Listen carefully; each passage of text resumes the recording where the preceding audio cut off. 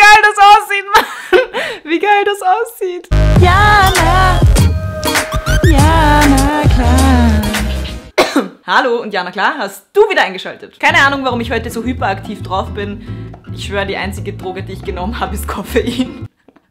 Meine, meine Insta-Story ist heute zum Schießen.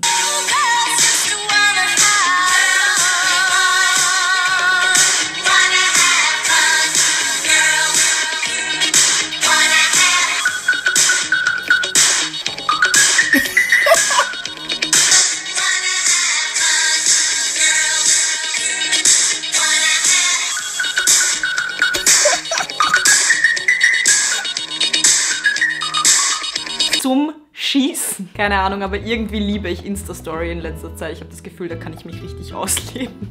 Ihr könnt gerne mal auf meinem Instagram vorbeischauen. Dann seht ihr vielleicht, was ich meine. Und zu meinem Look heute. Ich bin weder gerade aus dem Gefängnis ausgebrochen, noch bin ich eine Biene.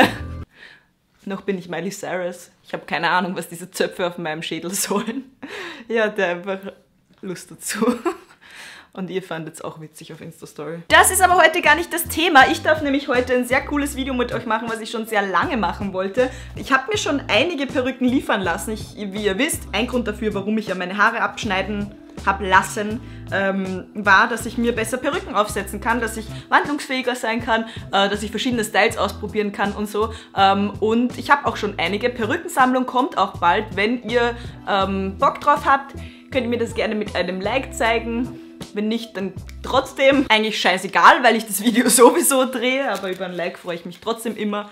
Ähm, so wie jeder YouTuber. Ich habe heute hier nämlich ähm, eine Perücke zugesendet bekommen von Duna Love. Ja, das ist mittlerweile, glaube ich, meine fünfte Perücke oder so und ich dachte, ich mache mal mit euch ein Unboxing, zeige euch, wie ich das immer mache, wenn ich eine bekomme, ähm, wie ich die präpariere, dass die zu mir passt. Vielleicht gefällt sie mir auch gar nicht. Ich habe nämlich diesmal eine Echthaarperücke in Rot.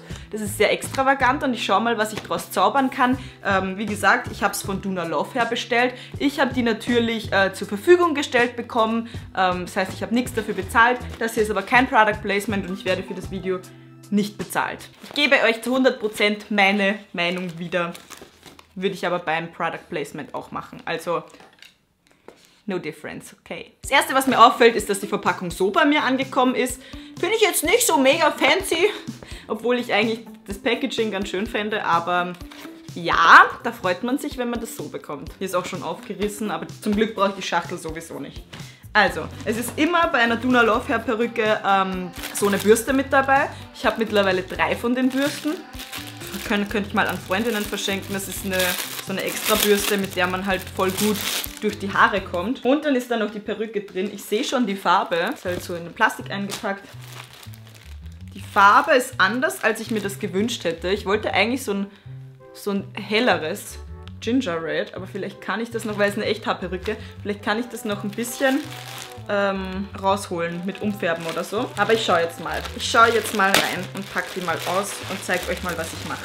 Da ist natürlich auch noch eine Wig Cap mit dabei. Ähm, das ist so ein Netz, das man dann über seine Haare stülpt, damit man die niederlegt. Das hier ist eine Echthaarperücke. Fühlt sich auch sehr weich an. Nur mit der Farbe bin ich halt jetzt gerade nicht so zufrieden. Aber wie gesagt, da schauen wir noch, was wir rausholen können. Und die kommt auch schon gelockt. Kann ich natürlich nachher glätten oder selber so locken, wie ich das gerne hätte. Das hier ist eine Perücke, wo das Lace vorne ist, also dieses Netz hier.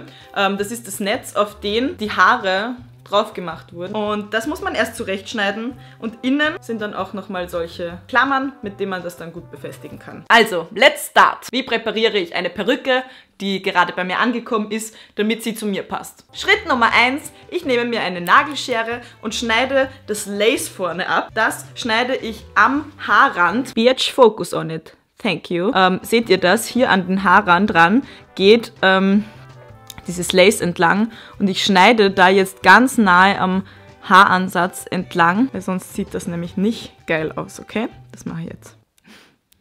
Ich finde, ich sehe aus wie ein Marienkäfer. So geil, Mann. Concentration, das ist nämlich ein sehr wichtiger Schritt, weil bei dem Schritt kann es euch passieren, dass ihr Haare vorne kurz schneidet, die ihr nicht kurz haben wollt und dann stehen die so hässlich ab.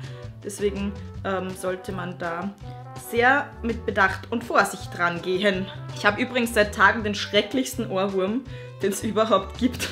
Du willst, ist das, was ich brauch. Gib's mir Dagi, gib's mir Dagi, gib's mir Dagi. Gib's mir Dagi, gib's mir Dagi, gib's mir Dagi. Mach's mir Dagi, mach's mir Dagi. So, ich bin soweit. Ich habe das Lace abgeschnitten. Das ist jetzt hier dieser Teil. Der war vorne hier dran. Ähm, ist jetzt weg. Und jetzt bin ich soweit. Jetzt muss ich diese Teile hier runter machen. Schritt Nummer zwei. Ich setze meine Perückenhaube auf. Wir tun jetzt einfach mal so, als würde ich die ähm, Perückenhaube brauchen. Dann setzt man die so auf. genau so, so setzt man die auf. ja, ich sehe die Screenshots jetzt schon wieder.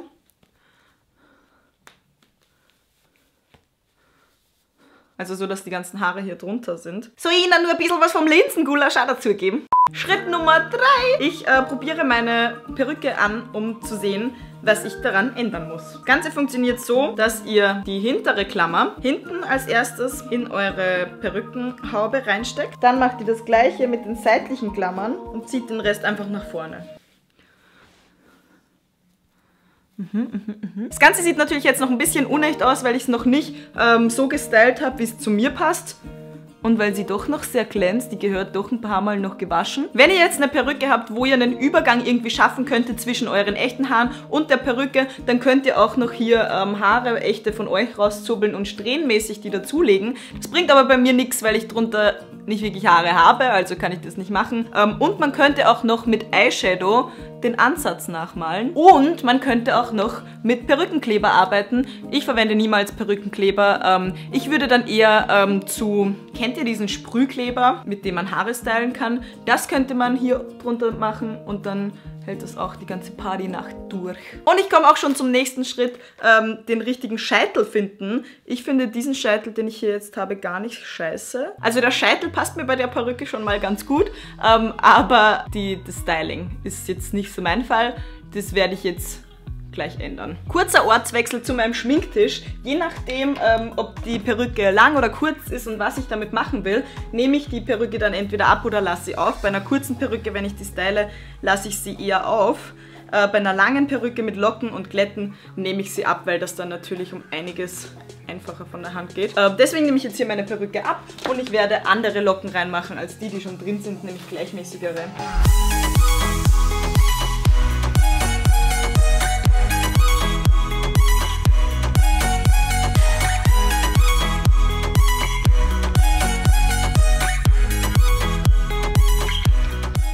Was ich teilweise für Gedanken habe, während ich meine Haare mache. Man hat einfach viel zu viel Zeit, um nachzudenken. Denkt sich Eugen wohl manchmal, ich mach's mit Dagi, mach's mit Dagi, mach's mit Dagi.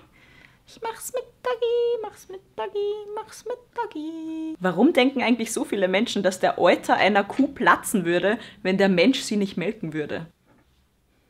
Eine Frau muss man ja schließlich auch nicht melken. Ich mach's mit Dagi, mach's mit Dagi, mach's mit Dagi. Und ich stell meinen Namen. Knödel.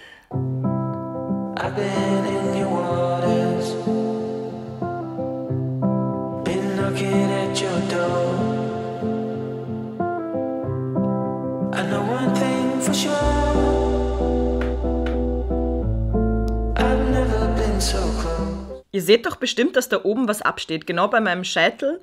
Ähm, oben entsteht so eine kleine Lücke immer. Und genau wegen der ähm, werde ich mir wahrscheinlich Perückenkleber kaufen oder das eben so machen mit diesem Sprühkleber, äh, dass ich mir das ranklebe, weil das sonst immer so absteht und dann merkt man natürlich, dass das eine Perücke ist. Und auch an ähm, meinen seitlichen Kopfpartien wäre es fast äh, geschickt, das irgendwie festzumachen. So Leute, das ist jetzt das, was ich fürs Erste rausgezaubert habe. Ähm, ich habe jetzt hier doch einen Mittelscheitel gemacht, habe das beides zurückgedingst, geklammert und ähm, halt Locken, die sollten noch ein bisschen aushängen. Ähm, es sieht noch ein bisschen unecht aus, weil es doch sehr glänzt, aber nach ein paar Wäschen und wenn ich vielleicht ähm, das noch ein bisschen heller hinbekomme, weil ich finde doch, dass das Rot sehr unecht wirkt. Bei mir dauert es aber sehr lang, dass ich dann die endgültige Frisur rausgefunden habe, die ich bei einer Perücke dann noch haben will. Ich habe auch teilweise einfach mal radikal einen Bob geschnitten oder ähm, keine Ahnung, Längen total abgeschnitten ähm, oder auch Dichte aus ähm, Perücken rausgenommen und alles mögliche. Ähm, habe ich alles gemacht. Und ich bin jetzt fürs erste Mal sehr zufrieden mit dem, was ich hier rausgeholt habe für die erste halbe Stunde. Aber ich werde das wahrscheinlich auch noch sehr verändern. Äh, und wenn ihr sehen wollt, wie das dann im Endeffekt aussieht und auch die anderen Perücken sehen wollt und ähm, alles Mögliche mit den Dingen sehen wollt, dann könnt ihr mir gerne auf Instagram folgen, weil dort werde ich es wahrscheinlich als erster posten und poste ich auch sehr viele Bilder mal mit anderen Haaren und so Zeug. Der Unterschied zwischen synthetischen Perücken und Echthaarperücken, so wie die es hier jetzt ist, ist, ähm, dass ihr die nicht nur besser stylen könnt, also eine synthetische Perücke kann man natürlich auch ähm, locken und auch glätten und so, aber das bleibt nicht so lange ähm, und es geht auch viel schwerer, weil sich synthetische Perücken nicht so leicht durchbürsten lassen und sehr, sehr stark verheddern können. Äh, bei Echthaarperücken geht es ganz einfach meiner Meinung nach, ähm, ist auch sehr schnell gestylt, halt wie echtes Haar. Ähm, und ihr könnt es auch, das ist der riesengroße Vorteil, färben. Echthaarperücken lassen sich färben, synthetische Perücken lassen sich kaum äh, bis gar nicht färben. Deswegen mag ich sehr gerne Echthaarperücken. Das hier ist jetzt meine zweite. Und ich finde sie ganz cool. Vielleicht gewöhne ich mich auch noch an die Farbe. Bei der Perücke gefällt mir auch der Style mit den aufgemalten ähm, Sommersprossen sehr gut, weil mich das auch ein bisschen so an Pippi Langstrumpf erinnert und weil die meisten ähm, echt rothaarigen Leute auch Sommersprossen haben, soweit ich weiß. Was sagt ihr zu der Perücke? Ihr könnt mich gerne wissen lassen, ähm, was ihr denkt, wie äh, sie mir steht. Aber ich weiß schon, für Neues sind die meisten hier nicht so zu haben und äh, finden eher immer gewohnte Sachen gut. Aber mal schauen, vielleicht findet ihr die auch ganz gut und vielleicht, wer weiß, wer weiß, ähm, sehen wir uns ja in einem der nächsten Videos mit roten Haaren wieder. Jupp. Dann wünsche ich euch noch einen wunderschönen Tag und sage wieder Tschüss. Bis zum nächsten Video. Das Video ist jetzt vorbei. Drum schaut bei den anderen rein. Abonniert mich auf Twitter und Instagram. Dort gibt's bestimmt keinen Spam. Nur coole Fotos.